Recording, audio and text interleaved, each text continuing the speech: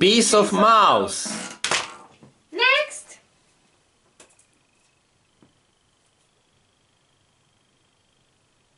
Next.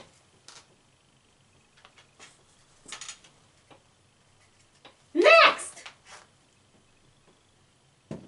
Is this meal for one adult person? Yes, exactly. But it's just enough for my cat. What? You keep cat in your room? Oh, I, I, I'm really sorry. Uh, please, uh, just don't say anything to anyone.